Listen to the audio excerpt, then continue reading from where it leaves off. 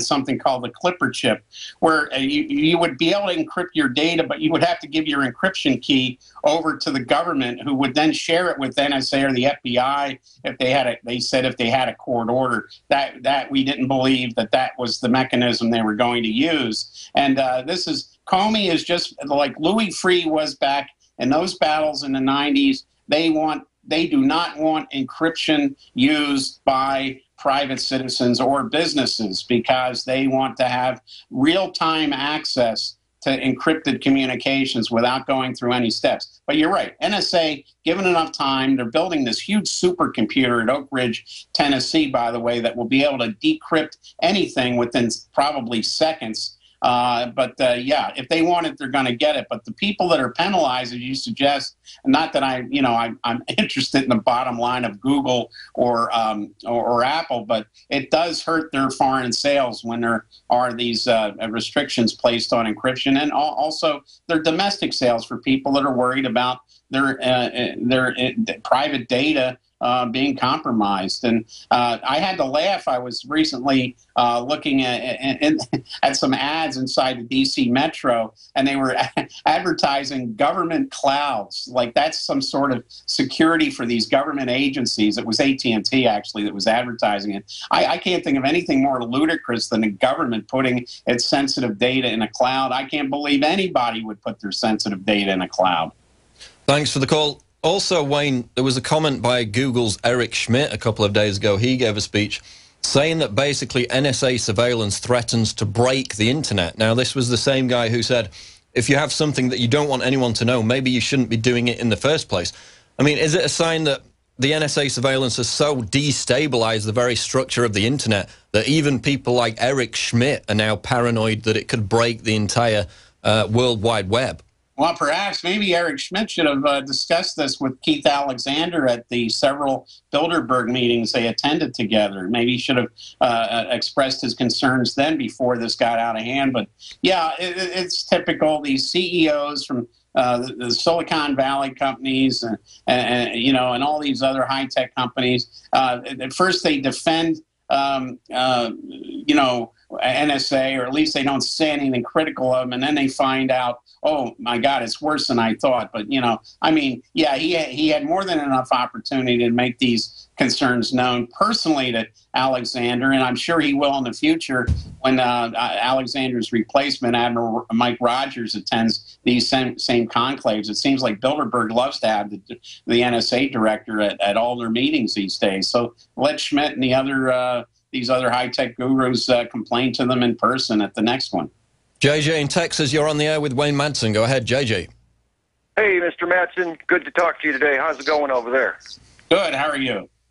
I'm doing great. I have a comment about 9 11 since that came up. Um, isn't it strange uh, that our government flew out the family of the wanted hijacker behind 9 11, Osama bin Laden? And all his family got to fly out. Isn't that a false flag there, number one? And number two, uh, isn't it true that Pakistan's intelligence is called ISI? Yes. You know, is there any correlation between ISIS and Pakistan? Uh, that's not determined, except uh, one thing I, I, I, discovered in Iran that uh, we, we now know that ISIL is crossing over the Iraqi border into Iran using some uh, kind of open smuggling routes uh, in the Kurdish area uh, in the northern part of Iran, uh, where where uh, a lot of stuff that's mm, basically illegal in Iran is smuggled by mostly Armenian businessmen. Things like beer, for example, and at ISIL's using these same smuggling routes to get their people across. At the same time, Pakistan. Um, uh, there's a group there called Jundallah, which is a Baluchi uh, terrorist group that's supported by the United States. Uh, depending on what day of the week it is and how much money is being paid off by the CIA, this Jundallah will make uh, forays into Iran and commit terrorist attacks. Now, Pakistan sometimes cracks down on this group, and that's ISI, that's the Pakistani intelligence service. But uh, other times, if they if they're paid off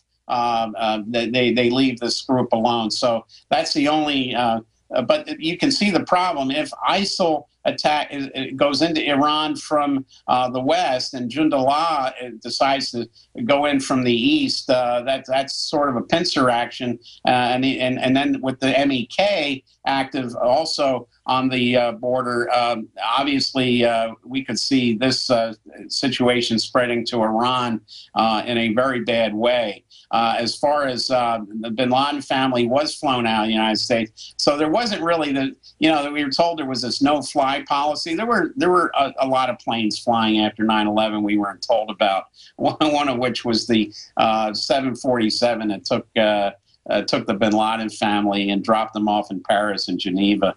Uh, and they flew in to, from various locations around the country. Uh, yeah, we protected bin Laden's family, but we did very little to protect the uh, first responders who uh, have died and are very sick in, in New York and Washington, D.C. JJ, thanks for the call. Vac in Wisconsin, you're on the air with Wayne Madsen. Go ahead, Vac. Vac's gone. We've got Tom in New Jersey. You're on the air, Tom. Go ahead.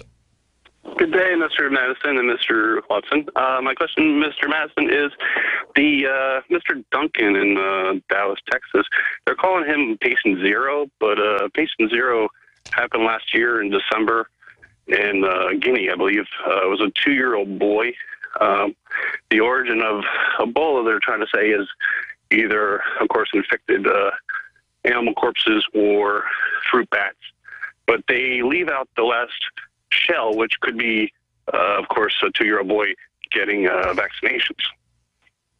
Um, yeah, I, I, I, I, tell you, I, the, you know, when they when they talk about the guy in, uh, who died, Mr. Duncan in Texas, as being patient zero, obviously there are we, we know that the, there are there are now maybe five thousand people in West Africa who have died of this disease, and that I may be lowballing that number. We're not getting, and for Obama to send the military over to deal with a public health issue, I really question whether AFRICOM, which was designed to protect U.S. business interests, oil interests, and other interests in Africa is is is well placed to deal with this uh, developing pandemic in, in West Africa. So, uh, what one thing the military does do when they go into an area, they they tend to keep um, uh, uh and nosy journalists out. They put a, an information, what's called an information cone over the area where uh, not no independent news goes out. That's what I'm very skeptical and suspicious about with Obama's deployment of troops into West Africa. Okay, thanks for the call. Yeah, so picking up on that, Wayne, I mean, we've seen Chinese uh, economic expansion in Africa outstripping the US. So do you believe that this Ebola outbreak and other so-called crises like that are being used as pretext to send US troops into the region to establish strongholds that will later benefit economically the US military industrial complex in that region? It could very well be. You know, we're already in there to fight these uh, groups that are active now in West Africa as a result of our the neocons foolhardy uh, uh, project to uh, uh, you know get rid of Gaddafi in Libya. That just turned out all this this weaponry and these jihadists who are now active in Mali and Burkina Faso and Niger and with Boko Haram in Nigeria and Ansar Dine in northern Mali. Uh, and other and other countries. So the, the, these American troops are supplementing troops that are already in, in, in West Africa.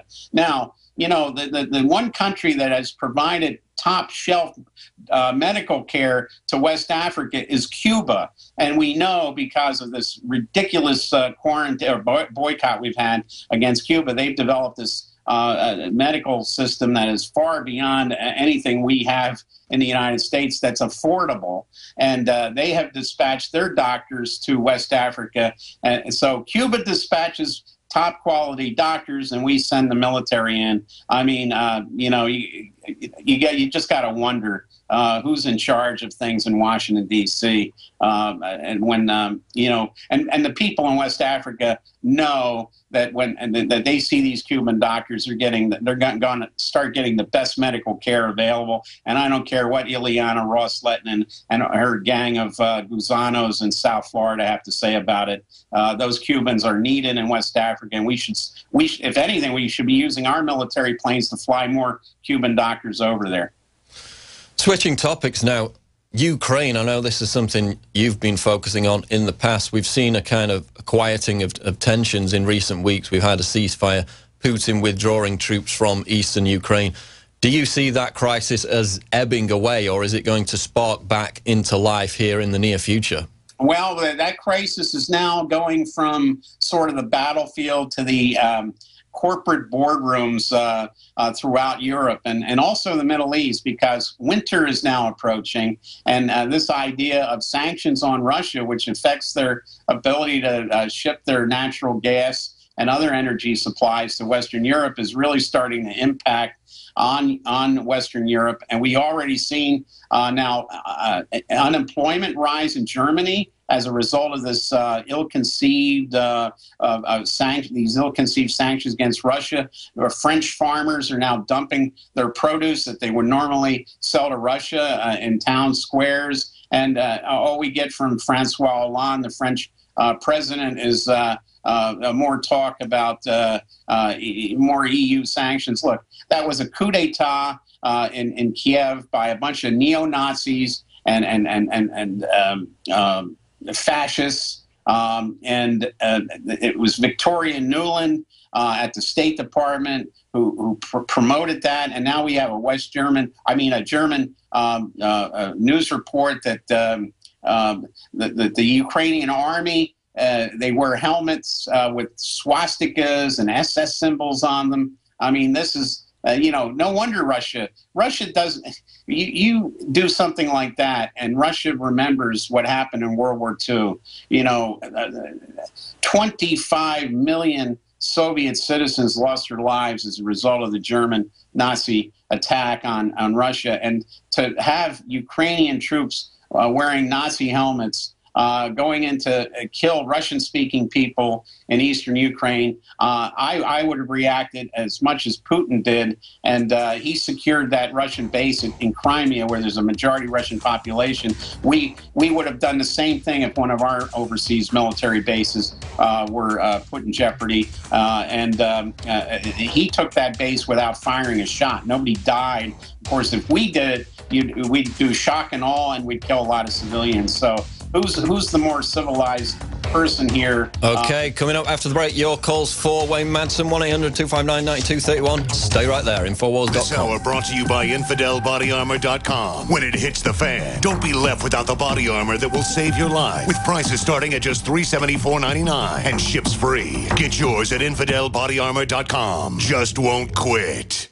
Hi, Ted Anderson with Midas Resources. Is it time to convert paper 401ks and IRAs to solid gold and silver yet? Get our 10 Reasons book free. Call 800 686 2237. That's 800 686 2237. This is Dan Pilla. Do you owe the IRS money you can't pay? Are tax debts crippling you? I've defended people from the IRS for over 30 years. I've helped thousands and I can help you too. I wrote the book on IRS settlement and I'm telling you, there's no such thing as a hopeless case. Call 800 34 no tax to finally get free of IRS debt. With the IRS's new programs, there's never been a better time to solve your problem. Call 800 34 no tax. That's 800 34 no tax or my website, danpilla.com.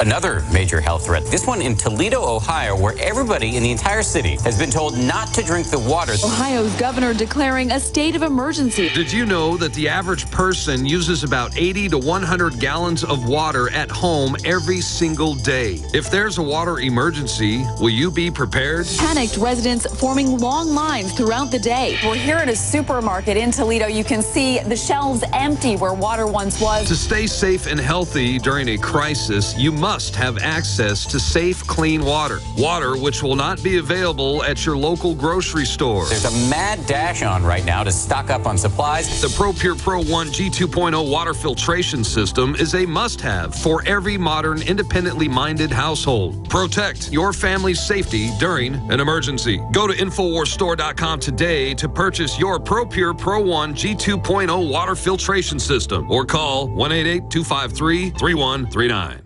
I'm watching and waiting for the right time to take everything you own. I love a dark house. Don't be the next victim of a break-in. Go to faketv.com and discover a device that creates the illusion someone is inside watching TV and makes your home unappealing to would-be thieves. Don't these people ever leave? Starting at $24.95 and there's free shipping. Go to faketv.com or ask for it at your local hardware store. Fake TV, the burglar deterrent. Silver has always been nature's very own antibiotic, and only one system allows you to generate an endless supply of natural silver solutions. Silverlungs.com. You'll find no wild claims or pseudoscience, just a